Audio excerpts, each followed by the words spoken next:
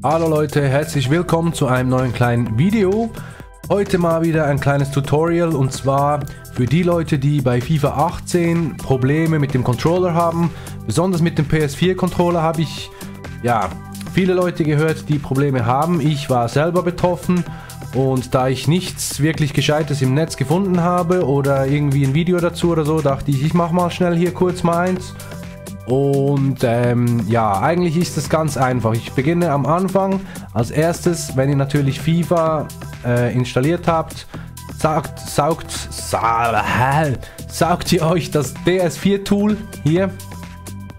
Wenn ihr das habt, öffnet ihr es. Dann seht ihr hier den Controller.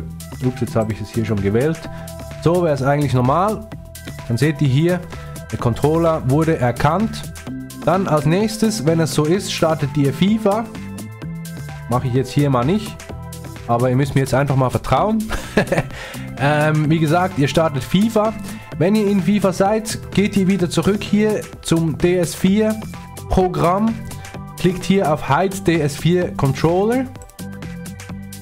Dann sagt es hier, es wurde abgemeldet. Aber in Wirklichkeit läuft es noch. Also der Controller sollte eigentlich ohne Probleme funktionieren in FIFA. Und jetzt der wichtige Schritt, wechselt den USB-Port.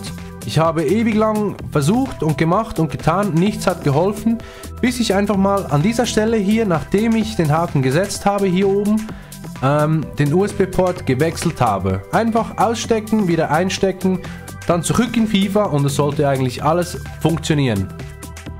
Ja, Gut, bei mir war es so. Ich hoffe, ich konnte euch helfen. Ich habe wirklich nichts gefunden im Netz, das mir geholfen hat. Ich habe ein bisschen ausprobiert, rumprobiert, bis ich es dann herausgefunden habe und es funktioniert wunderbar. Auch äh, online. Es gibt viele Leute, die bei denen funktioniert der Controller nur im Singleplayer-Modus oder im Offline-Modus besser gesagt und sobald man online spielt, geht gar nichts mehr. Dieser Fehler sollte eigentlich auch behoben worden sein mit dieser Methode hier. Okay, ich hoffe, ich konnte euch helfen und ähm, wenn ja, hinterlasst ein Like. Wenn nein, hinterlasst ein Like. Und ähm, ja, wir sehen uns das nächste Mal. Bis bald. Ciao.